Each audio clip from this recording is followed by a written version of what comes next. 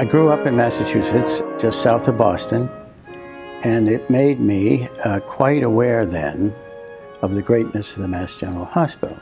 A string of good fortune resulted in me graduating just 50 years ago from Harvard Medical School and entering here uh, our surgical training program. It was 1961, and I had just graduated from a school in Maine and my sister was living down here, and I came down here to Boston with the idea maybe I could find a summer job.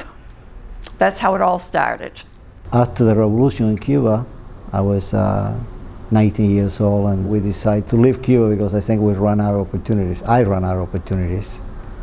And so we got together in a 16 foot boat, 35 horsepower. We crossed the uh, Gulf of Mexico.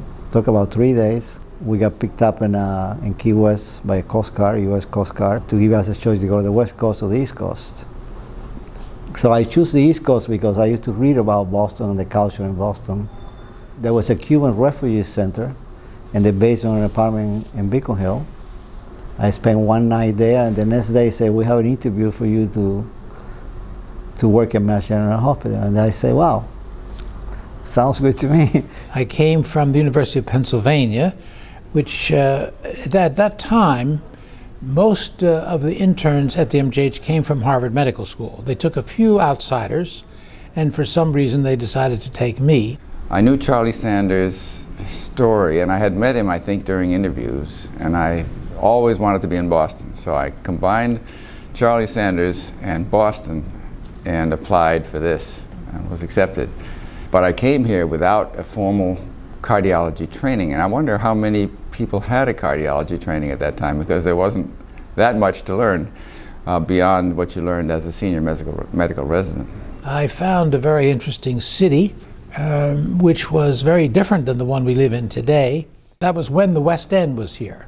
Two colleagues and I rented a place there. But unfortunately, some wise planners decided to eliminate it, and the people who lived there had nothing to say about it. Most of them were renters. The eviction notice was delivered by a crane coming down the street and taking a bite out of the roof from the building in which you were present. And that was a sign you'd best move on.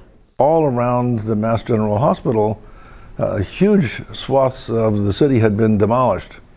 So the Mass General was an island of stability in a sea of rubble. When you get out of medical school, you suddenly realize you know a lot, but you don't know what to do with it always. And the same getting out of residency, although uh, I spent the last six months of my residency here at Mass General as chief resident, and I had two residents and a medical student working for me, so I had a team. And so, you know, I had to make some decisions, but I always had a mentor I could call. At that time, the MGH was was significantly or largely a, a, a, hospital made up of private practitioners who donated their time uh, to to teaching of the residents and the fellows and the medical students. I went into private practice of rheumatology, uh, but I continued to be affiliated with the what we called at the time the arthritis unit, now the rheumatology unit, where we would uh, volunteer uh, our time to teach the fellows and the residents. We'd go to the clinic. We also went to medical clinic at the time. Nobody ever got reimbursed or paid anything for doing that, but that was an MGH tradition. I had learned from being in the Mass General training program from the surgeons and the internists the importance of excellent doctor patient relations, something that I was very grateful to have been exposed to. I felt that I'm working with intelligent people. The place with its reputation attracts intelligent people, people who want to do something better as it comes along. I would say it's fair to argue that the MGH was the premier academic institution. If you wanted to do research and take good care of patients and see how those two entities could mix together, those two uh, styles of interest could mix together, this was the place. From the first day that I checked at Mass General, I was assigned to do a room. And the, from the beginning, I felt that was my room that was my patient. When I had been a medical student at Columbia Presbyterian Hospital in New York, And when I had been a city hospital intern and resident, I was very disturbed. The Presbyterian Hospital in New York uh, was very selective in its admissions, and it often turned people away if they had routine conditions that could be easily taken care of in a city hospital. They also, I came gradually to realize, turned away some patients who didn't have insurance who had life threatening conditions. Mass General, from the time I came here, prided itself on never turning anybody away. When I came to the uh, Mass General, I was introduced to the Baker Memorial, which to me and everybody else was an innovative system of caring for people. Poor people who came to the hospital here were taken care of on the ward service. Anything that was done for a patient at the Baker, regardless of how long it took or how many operations or whatever, the total fee to the patient was $150, and that was never changed. The day that I arrived at Mass General was the day Medicare went into effect. And I remember being told by the chairman of the department at that time, Alexander Leaf, that Medicare was going to revolutionize the way departments of medicine funded their faculty and paid for medical care of indigent individuals. You had to learn tactile techniques to diagnose people in those days. You didn't have many assisted assisting devices. Those days you just had a fluoro that was antiquated, you can see images, you do coronary or ventricular angiograms, but you really didn't have much detail. There was a lot of attention paid to the physical exam, heart murmurs, details that uh, were very fun to um, try to sort out. The pace of medicine was very slow. When a patient had a heart attack in 1957 and was admitted to the MGH, the treatment was bed rest for three weeks in the hospital. So there were a lot of patients, but they didn't move with the speed and the numbers of tools we had. You know, we had electrocardiograms, but we didn't have intensive care units. We didn't have a lot of the monitoring that goes on now. And the high low machine those days composed of a this stainless steel disc plates um, inside a, a, glass container and with a motor on it. You know, it looks like a pulley with a wheel on it that just gently turns so as the, the disc goes through the blood. And the, the pump is to perfuse, propel the blood into the body. When you go in cardiopulmonary bypass, it was just a, what you call a finger pump. And it was pretty efficient. Uh, if, you know, by gravity, the pump sits in the bottom and the oxygenator was in the top. And so, so by gravity, you fill up the tubing and as you fill up the tubing, it squeezes the section that is filled with blood and it pushes in going forward. It was a time of, uh, of creation. We were in a lab on Bulfinch 1. Charlie Sanders had an office right next door. He designed it so that his door opened into our lab. He could sit at his desk, watch the monitor, and if he saw someone foundering, he could open the door and say, uh, move it to the left or something like that and close the door.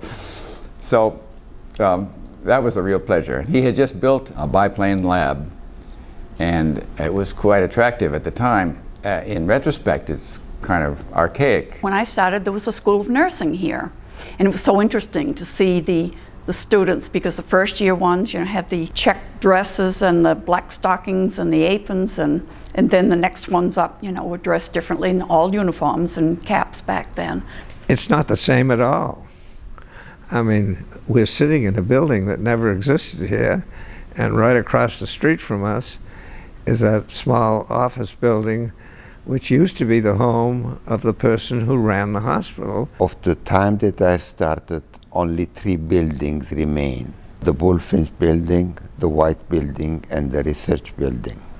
All the other buildings has been demolished, revamped, and modernized. All of these years it's been buildings up, more coming down, more going up, but they had a long range plan in place years and years ago, and they've just about fulfilled that, I think. We've grown a lot with our outlying clinics.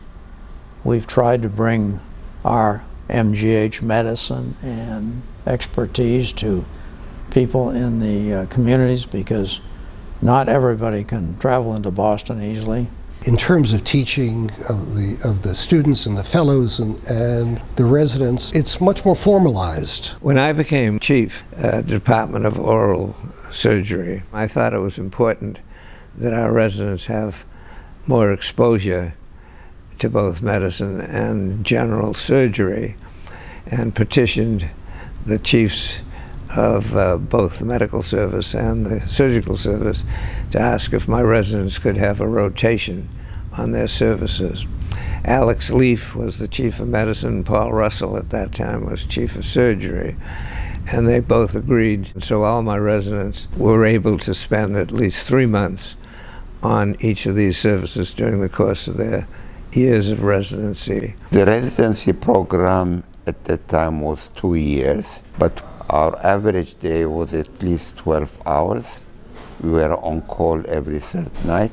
Now I see that the cardiac fellowships go four years before, uh, and that the catheterization fellowship is a year.